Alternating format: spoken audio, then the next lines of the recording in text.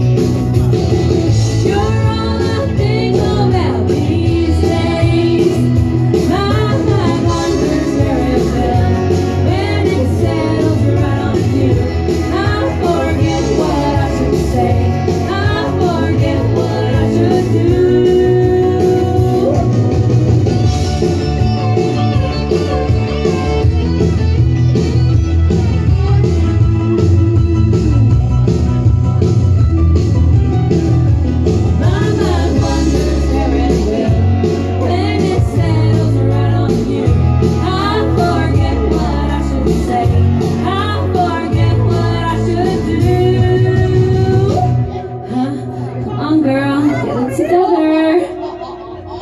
They're trying to.